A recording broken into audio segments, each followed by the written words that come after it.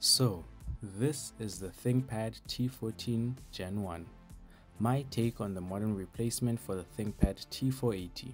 But is it actually better or am I on strong recreational substances? Let's talk about it. First, what's wrong with the T480?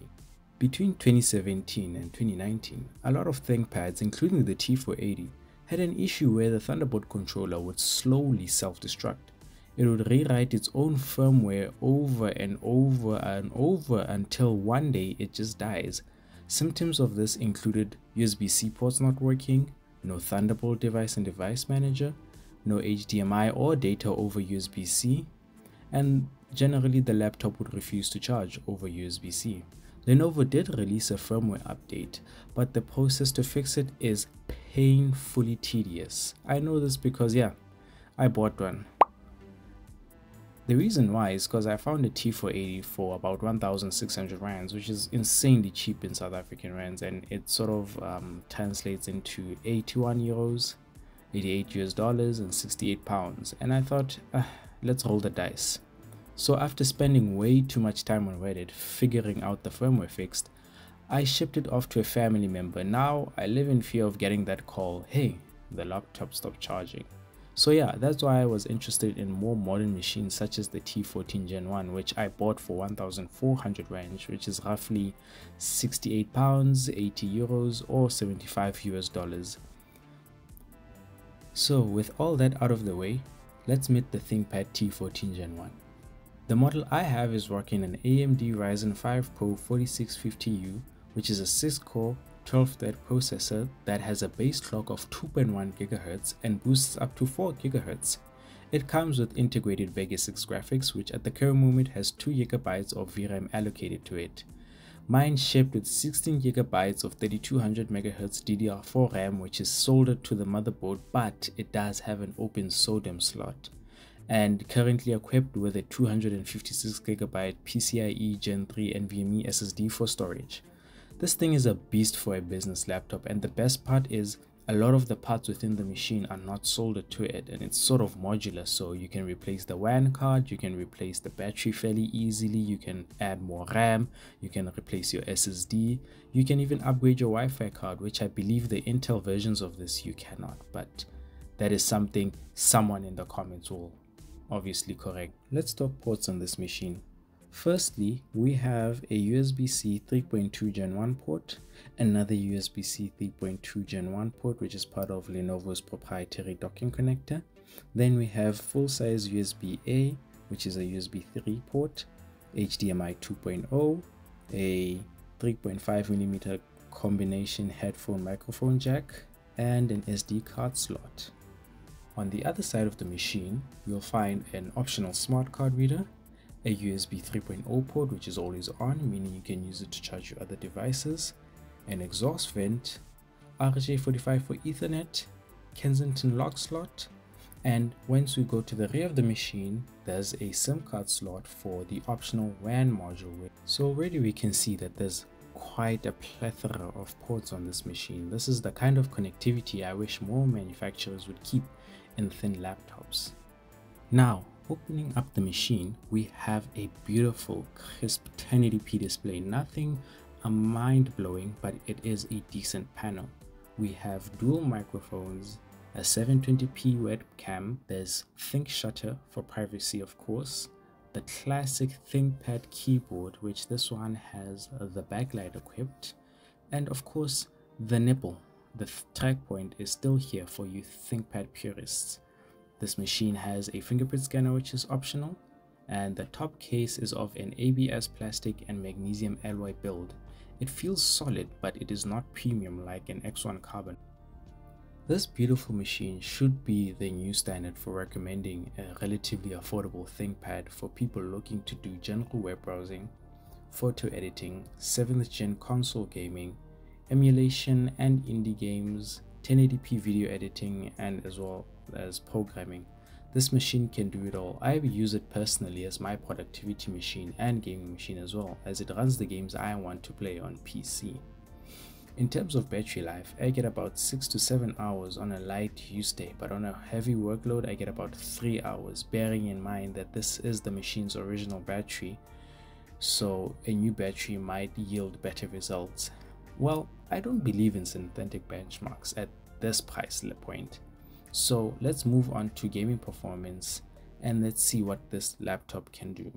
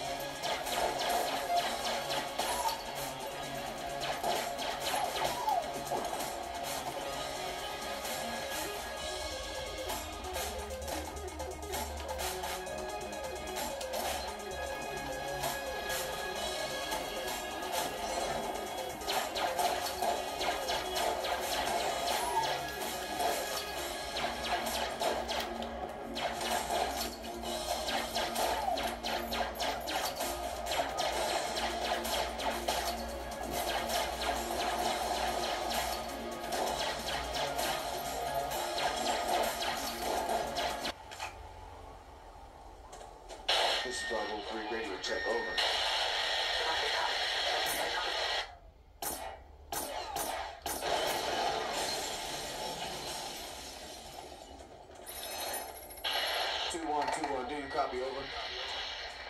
One. Do you read me? Over. If you copy, I am proceeding to RV. Out. Bravo two one. This is three. Do you copy? Over.